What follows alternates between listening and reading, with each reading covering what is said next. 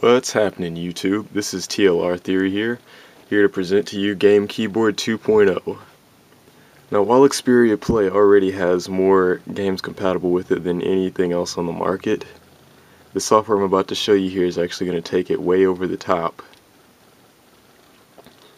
Because in addition to the 300 or so games, this piece of software allows you to map any touchscreen presses to Xperia Play's hardware keyboard meaning that any game on Android can pretty much be played with the Xperia Plays gamepad key, so no more trying to control fighters with touch buttons or no more trying to dash without having proper input response. So first of all, first of all, I'm going to tell you what my launcher is because I know someone's going to ask. This launcher you see here is called SS Launcher and it allows a sort of Windows 7 design. Just handling that because I know someone's going to ask. And let's start all the way from the beginning. Keyboard. You see Game Keyboard by LocNet, just to assure that you're getting the right one. I don't think there's any off-brands. I think I just revealed my email. Not that everyone can't find it already. Alright, let's get straight to business and how to set this thing up. You want to rotate for me? There we go. Now first order of business is getting this thing set up. Game keyboard is recognized by as an alternate keyboard, so thusly you'll have to go into the language and keyboard settings to get everything activated, just like you would everything.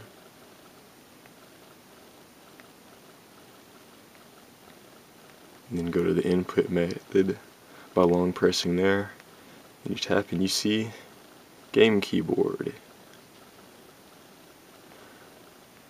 Now we'll just go through here and change some required settings. Okay 8-way D-pad's already selected. And we'll also need to select touchscreen mode to make sure it's performing touchscreen actions with physical keys. Then next up on the list is checking remap hard key because we're going to need to change the X and circle keys. And in hard key mapping, oops, what you'll do is select the key that you want to change and then change it to whatever you want it to be. So D-pad center, we want that to show up as gamepad A. And we want gamepad circle, remap circle to be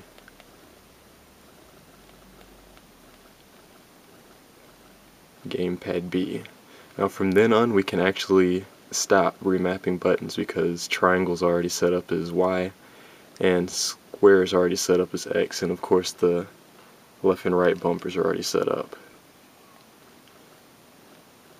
And for the Xperia Play... You have new email. We'll also have to put it in the 8 buttons mode so that we can actually see 8 buttons render here. Also, one other thing to bring up is that it does require root. It needs to have super user access. But luckily, if you own an Xperia Play, you can Zerg rush root this thing in a matter of seconds, no matter what firmware you're on. So that shouldn't be an obstacle. So let's go ahead and get into showing you how you'll set this up for each individual game.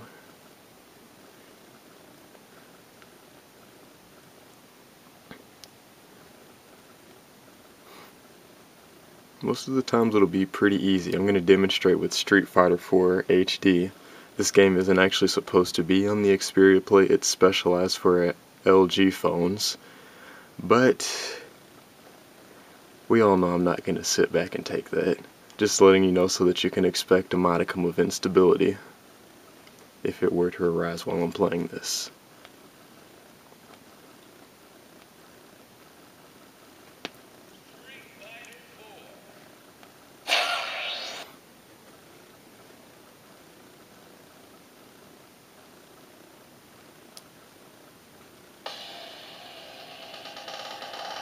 let's just do a practice match for now.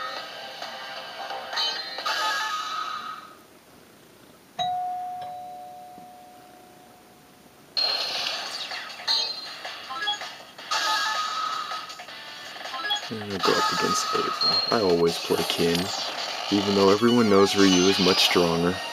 Ken's my main guy.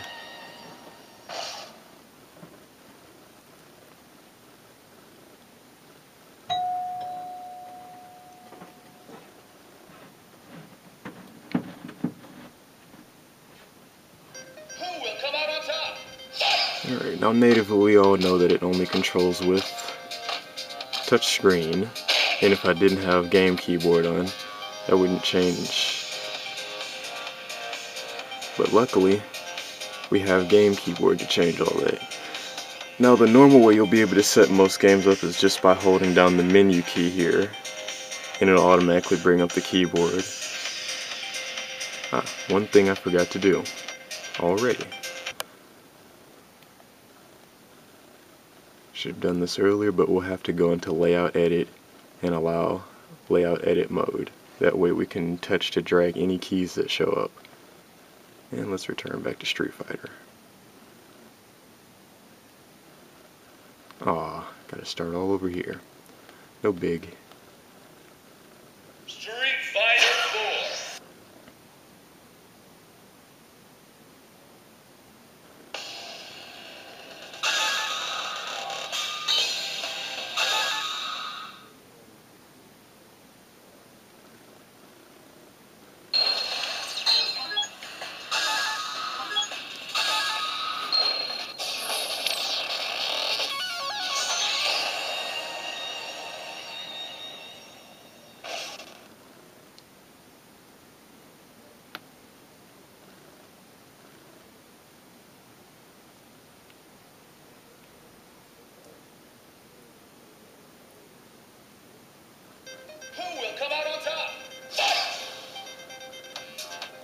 Okay, now we're in business, and we can just drag keys wherever we want them.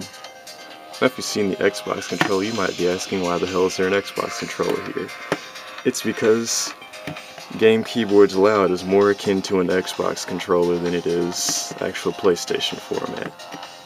So I'm sort of going to be mapping it here to consider how it would look if it were an Xbox controller. So we'd have Y on top here, X over here, B up there, and A on the bottom. And we'll go ahead and put the left and right buttons on these Super and Ultras. And Z and C, I'm actually going to use those to start and select, but that's later. As you can see, now we have full movement with physical controls. And even better is that in some games we can go into the configuration and get rid of this goddamn on-screen bulk. There we go.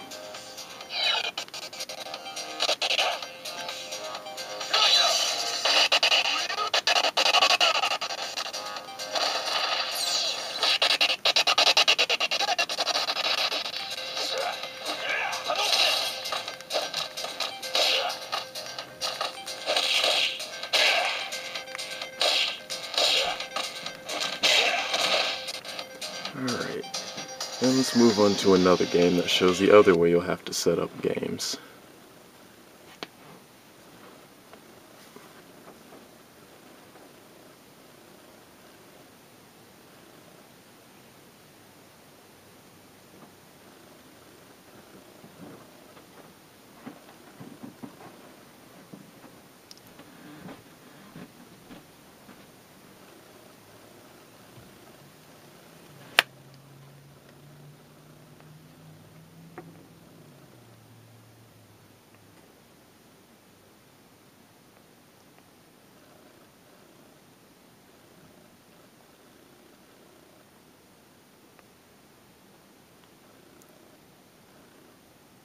Oh wow, it's made my whole phone unstable just messing with Street Fighter 4.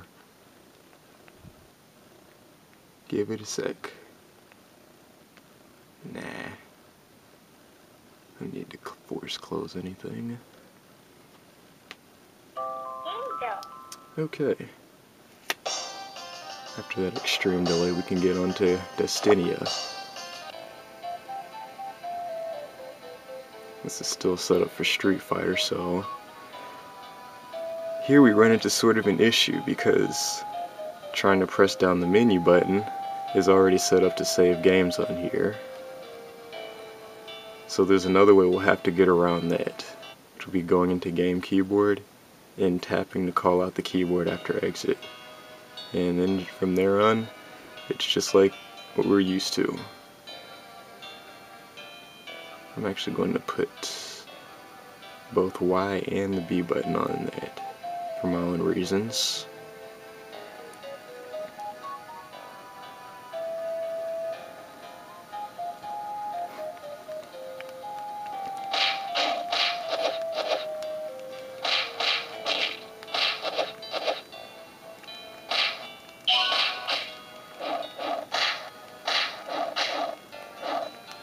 Just like that we have any old game can be optimized manually to play on Xperia Play's gamepad keys. I don't have any more MP to show off my other skills. But you can have each key mapped to shortcuts if you like too.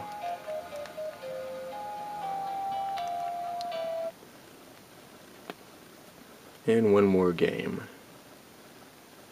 This is one I love to show off just because it's a wonderful quality game for the Android platform and the developers were sort of adamant against saying that or admitting that would work well with Xperia Play.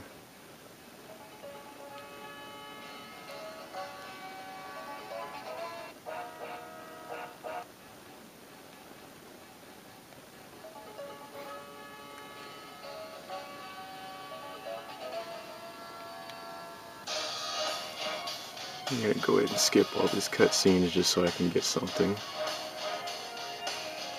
What kind of world do we live in where skip doesn't actually skip the whole cutscene?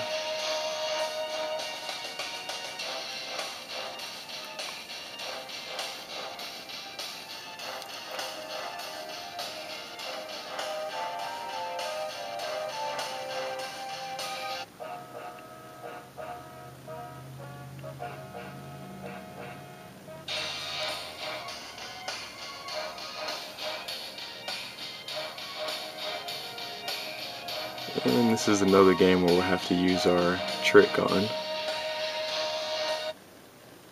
So call out the keyboard after exits.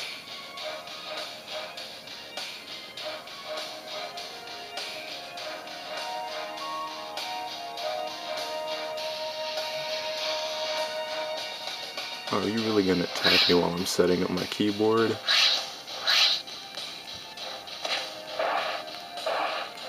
There we go.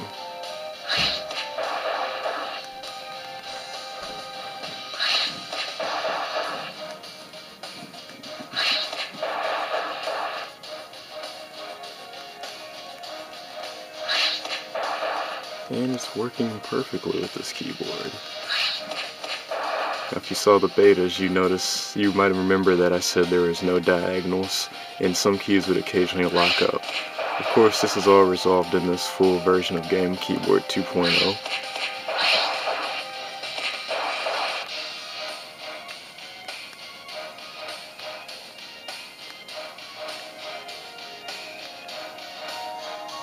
Alright, that's all I'll show you of this game.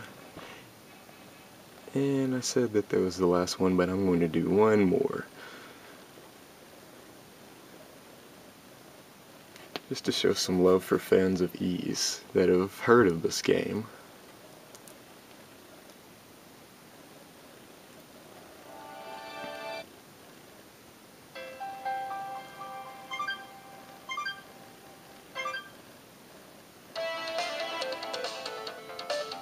First off, let's get away from enemies so I can safely set everything up.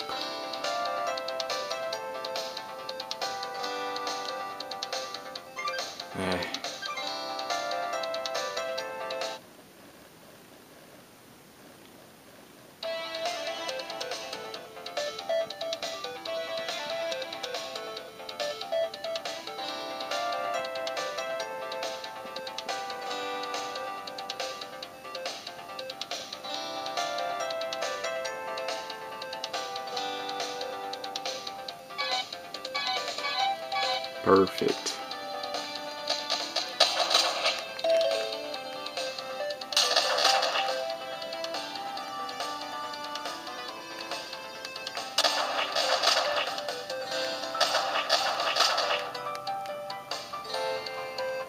Alright, and I think that's actually where I'm going to wrap up this video. As mentioned before, all of these games were previously touchscreen only and had no physical key compatibility whatsoever until game keyboard came along.